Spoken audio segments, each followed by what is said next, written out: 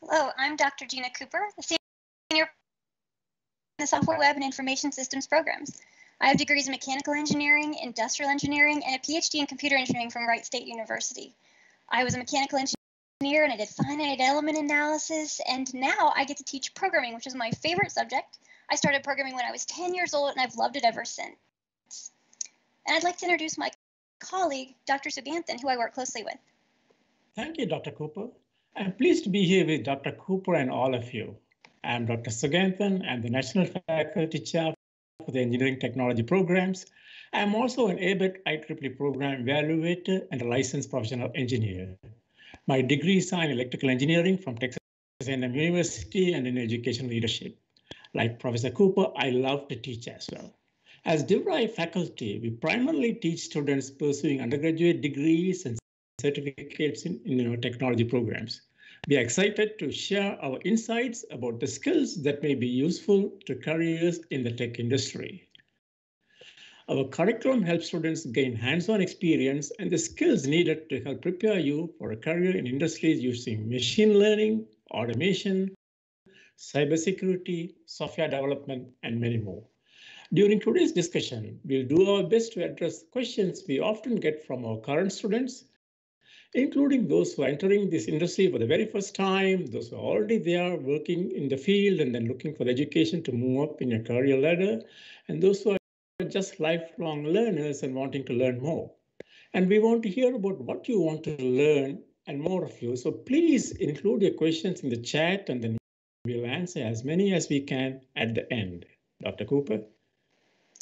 Well, let's get started with what goals our students typically want to achieve and how DeVry's technology programs can help prepare them to meet those goals. I teach many of our introductory courses for DeVry's technology programs, and my students are often in various stages of their careers.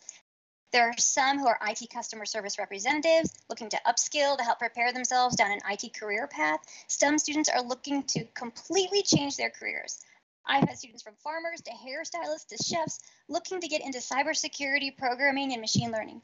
Several students have been working in the industry and want to challenge themselves by learning some new skills. Others want to learn the fundamentals of software development or machine learning.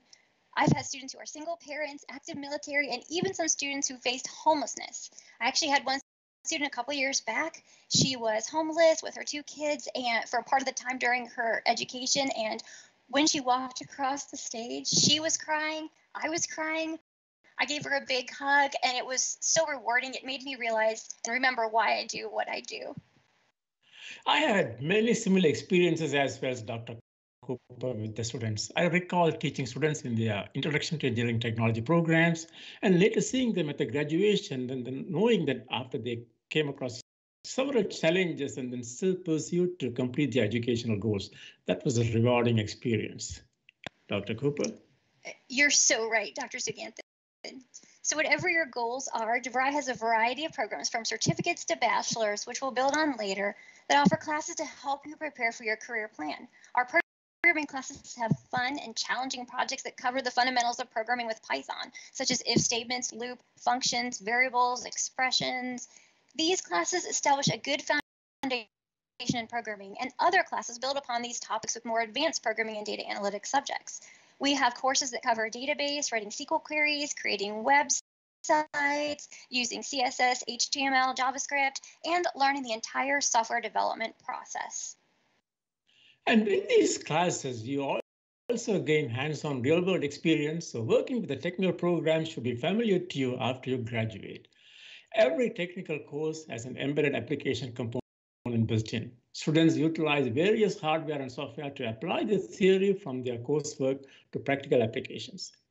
These might include software tools such as Multisim and MATLAB for circuit analysis and simulation, and even Proteus. And hardware components like Arduino Mega 2560, ESP32 microcontrollers. Students also utilize various sensors and actuators to do their course projects. Students use the TechCo kit to do their course projects as well. And then if you look at it, what is in their kit? The kit has various microcontrollers, sensors such as you know, ultrasonic sensors, motion detectors, light sensors, LCDs, routers, LEDs, and other devices. And to give you an example, students in their Introduction to, to Technology course use this kit to create a security system where they can monitor the system from their smartphone. So if the security is breached, then they will get an alert. You know, that's a great project as well. Talking about security, we have students who are interested in variety of other technology fields as well. But there are a few where our students are very passionate, including cybersecurity. And let's think about it. What is the importance of cybersecurity? Personally, I have had experience of security breach with my credit card, where you know many of you may have had the same experience, and you go through all the hassle of working with your bank and going through all that, uh, you know, trouble to get things back to normal. And we hear these stories over and over again. So we teach our students in our courses, you know, how to secure your home network and computers. What about password protection and two-step authentication? There are dedicated projects in our information security course, such as Security 285, which deals with that. We also teach students about hardware with routers and software configuration. What about firewalls and user authentications? We have lab assignments in our information technology and networking course, which deals with firewalls and user authentications. So we have several options for students to learn more about this in detail in the other courses. What about automation? We see automation in our day-to-day -day activities. These could range from program coffee makers and as you get up in the morning and then walk and then your coffee is ready, or to a vehicle with self-driving options. Skills such as analytical ability, troubleshooting, problem solving, and programming skills are critical to successfully install, implement, and configure smart systems. Let me talk about a project which my students do in the Introduction to Digital Devices class. They build a smart traffic light system. They will use a microcontroller ESP32 and they will start with a simple traffic light. They will expand to two sets of light. Then they will also add a crosswalk. When you push the button, it's going to make all the lights go red and display the sign to walk and then give them a counter. They will further expand the project by adding a buzzer and an emergency light, which could be controlled by their cell phone. So an emergency vehicle can make all the lights to go red, then pass through the intersection. They can also configure this light system to be one set of lights to be a major street, another set of lights to be a minor street, where the major street is always red, uh, uh always green, and the minor street is always red, unless it detects a traffic. They use a motion detector to do that. And these projects are very cool, and then they really enjoy that.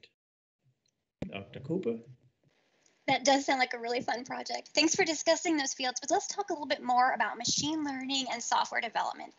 So what is machine learning and artificial intelligence? Well, it's exactly what it sounds like. It's training a machine using algorithms to respond to external stimuli. And there's many different applications. There's applications in robotics. There's also natural language processing. For example, home automation systems like the Alexa or your Google Home. Uh, those use natural language processing algorithms. There's also recommender systems. So Netflix has a recommender system. If you were to watch a, um, movie or TV show or something, Netflix is recommending other movies or shows based on what you're currently watching and your user preferences. So they use a recommender algorithm um, in a machine learning algorithm to determine what your preferences might be. There's also reinforcement learning algorithms. So these are used a lot in games. If you think of like a game, you might have a robot traveling through a maze and there would be which direction should the robot go? Well, there is a reinforcement, positive reinforcement or negative reinforcement for that robot when they're traveling through the maze. Those are that's used quite a bit in games. Um, then you have classification and regression analysis, which is used a lot in forecasting sales, business analysis. Classification will classify a problem yes or no, whereas regression can actually give you a, a potential sales forecast.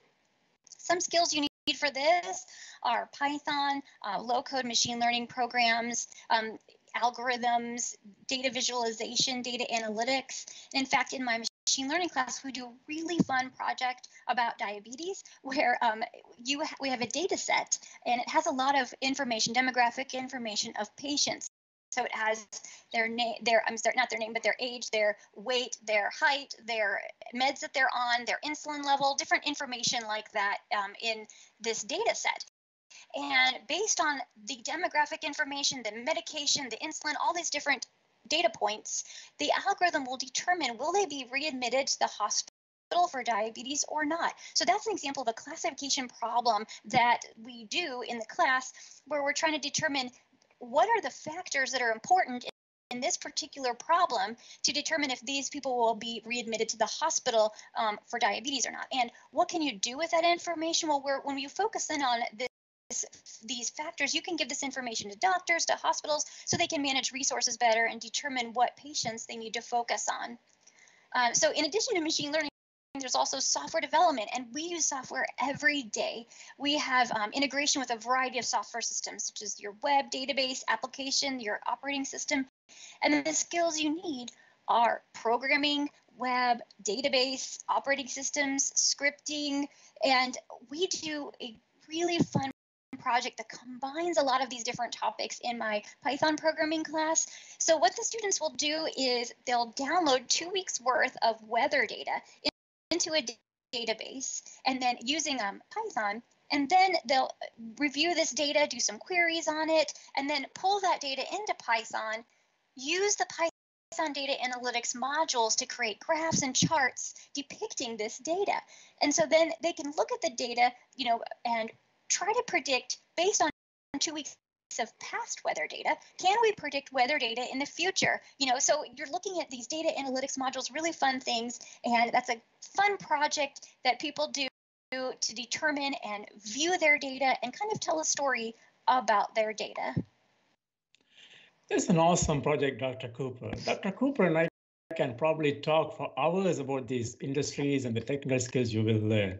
However, even though it's important to understand the technical skills, it is also equally important to have the soft skills too. We help our students learn variety of soft skills during our classes, but one important skill is to have, especially when you are working in the tech industry, is to be a lifelong learner. I always tell my students the three things. First thing is you should have the desire to learn, number one. And then you should have a willingness to in, invest the time to learn and also the willingness to execute what you are learning in your labs and your course projects. We have undergraduate and alumni who have come back to pursue higher degrees after working in the industry. Come to think of it, I have had students who graduated from the network and communications management undergraduate program, and after a couple of years, they have come back to pursue a degree in, in a graduate degree in information systems management or even in networks and communications management. So communication skills are very important to have it in the industry, but especially in the technology careers. The graduates are not only expected to communicate with their team members, but also with their customers on a daily basis, and that is very, very important. Typically, students work in teams in projects and also interact with each other during our discussions. And we can always see, you know, they will post questions about their project, get feedback from their peers, and they are going back and forth and then we see that all the time in our courses. Dr. Cooper? I agree with you, Dr. Suganthan, that lifelong learning and communication is important. However, there are a few other soft skills that are taught throughout our classes. The course projects in the class require problem solving skills. Students solve programming problems and then communicate their results in presentations or reports. So for example, in the weather database Python programming class, what we do is the students will create a presentation that contains everything from the project, their code, flow charts, then you know graphs, the SQL queries that they run, everything into this presentation that they can add to their portfolio. It's so they can showcase all the skills they gained and what they've learned. Um, in some programming classes, students make predictions based on data and create graphs to visually display data and results. For example, the machine learning class with our diabetes analysis, um, they created some graphs and basically telling a story because that's what your data can do. You can tell a story with your data. So we have covered how our classes can help you prepare for the real world in technology. So let's discuss some of the programs that you can specialize in. We currently offer three associate degrees and seven baccalaureate degrees in different areas of technology, and some of these programs allow you to pick your own specialization. So let's take an example, associate degree in information technology and networking, where students can select tracks in automation and electronic systems or information systems or even in network systems administration. If you look at our engineering technology and electronics baccalaureate programs, students have the option to, for the standard option where they take courses with communications and control systems or pick a track in renewable energy. Similarly, our computer information systems program also has multiple tracks.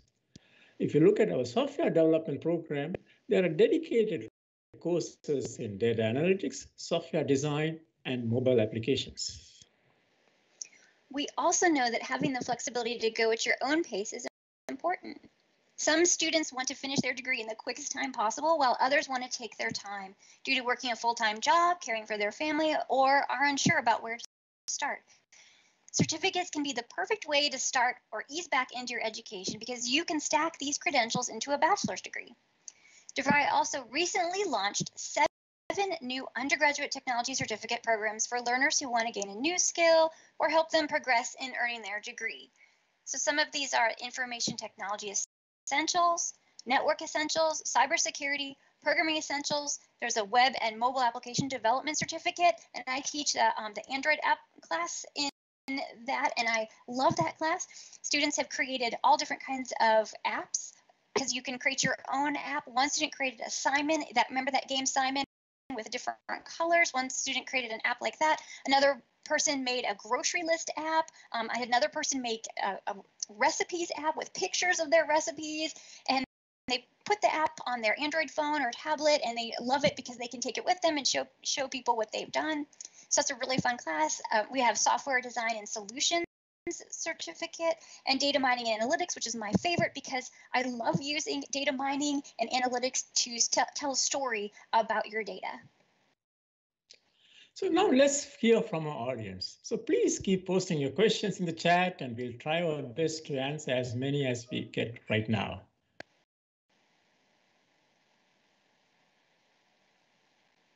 So we understand that there was an issue with the live stream pausing, so we'll be sharing the full video later as well.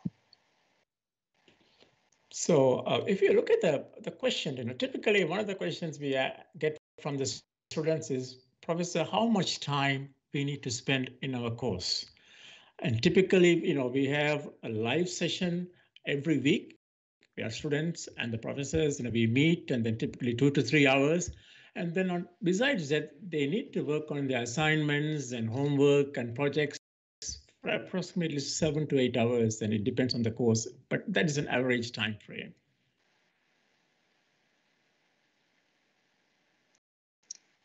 There's another question there, Professor Cooper. says, how many hands-on projects are there typically, and do they all include kits that get sent to students?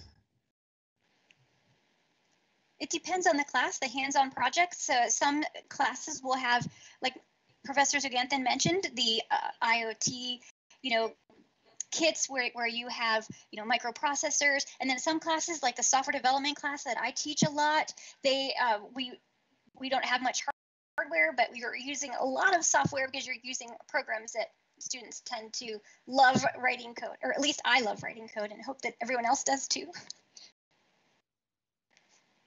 That's great.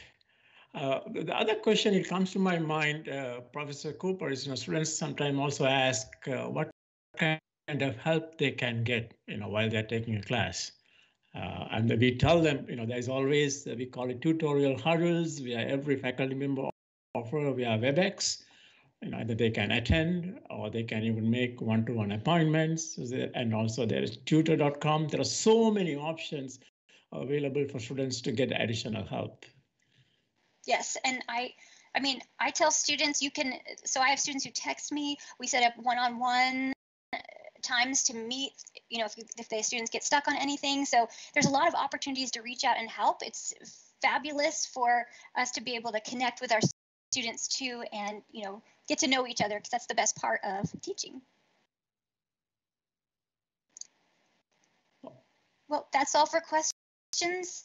Um, I want to thank you, Dr. Suganthan. I want to thank you all for joining our LinkedIn Live. If you're interested in enrolling or learning more, please reach out to a representative or go to our website at devry.edu. Have a great rest of your day. Thank you, Dr. Cooper. It was great chatting with you. Thank you.